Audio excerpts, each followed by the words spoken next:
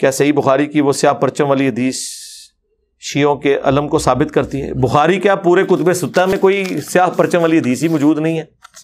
आपको कहाँ से मिल गई बुखारी में स्याह परचम वाली हदीस?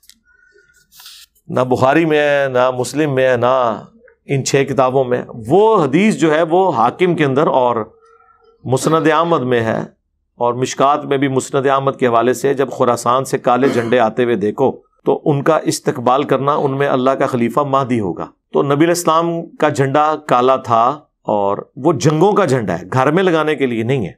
मौला अली ने कभी अपने घर के ऊपर कोई अलम नहीं लगाया। ये झंडे और जंगी लिबास, ये घरों की रिक्वायरमेंट नहीं, कोई बंदा घर में वो जिरा पहन के और वो खोद पहन के बैठेगा।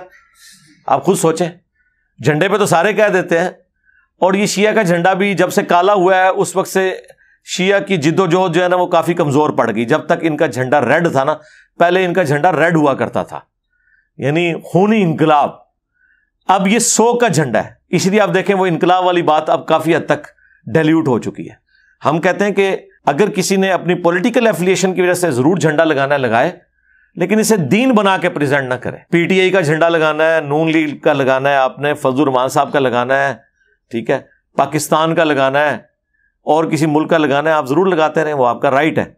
लेकिन इसे मजहबी एक्टिविटी ना बना के पेश करें। यहाँ तो मजहबी झंडे बन गए ना, ब्रेलवियों ने मिलाद के झंडे जो है, वो स्पेसिफिकली किस तरह वो तीन तीन कलर उसमें दिए हुए हैं, अब्दुल कादर जनानी के मज़ार का, अहमद ब्रेलवी के मज़ार का, और फिर जो है गुम्मद खजरा की नस्बत के साथ, और इस तरीके से देवबंद ने वो खिलाफत राजदा वाला वो पाँच रंगा झंडा अपना किया हुआ है। रात को मैं देख रहा था इधर, यानी पूरे मीनार के ऊपर वो झंडा लटका हुआ है जी। कई थान लगे होंगे उसके ऊपर।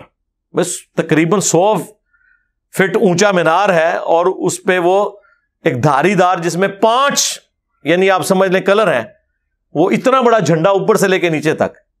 आपको तो ये कहते हैं मज़ारों के ऊपर चादर चढ़ाएँगे, ये किसी गरीब के कपड़े सिलवा दें, खुद इनके झंडे देखें कितने कितने लंबे हैं।